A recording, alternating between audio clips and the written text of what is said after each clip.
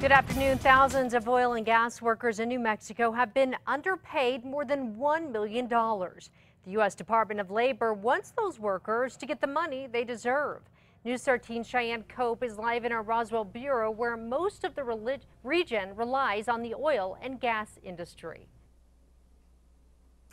Jessica, more than 1,300 workers are owed more than $1.3 million.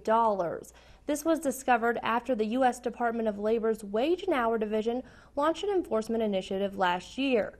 The division found a number of violations that left workers underpaid. Department officials say that there are many reasons for the problem, one being that the workers don't even know that the law is being violated.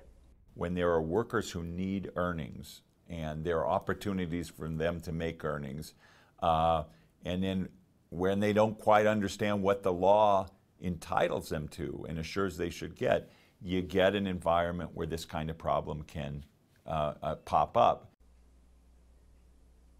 The department found that some employees were working up to 100 hours a week and only making a daily rate, which means in some cases they weren't even making minimum wage. Jessica, back to you. All right, thank you, Cheyenne. The division also found companies were treating employees as independent contractors, saying workers were their own small business.